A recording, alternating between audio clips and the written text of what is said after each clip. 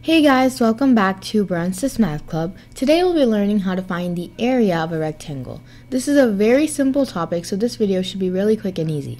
So the formula for finding the area of a rectangle is A is equal to L times W, or area is equal to length times width. So we have two lengths in a rectangle. So here is the length and here is another length, okay? And the width, of course, are two widths. So here's one width and the second width is right here. So let's go ahead and put on the measurements. So the lengths are equal to 16 inches.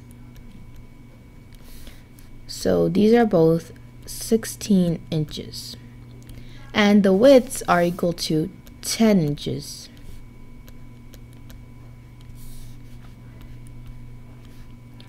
So to find the area of this rectangle, all we have to do is multiply the length times the width. So 16 times 10.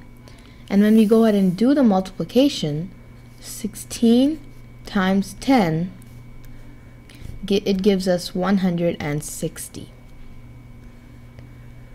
That means the area of this rectangle is equal to 160 inches squared.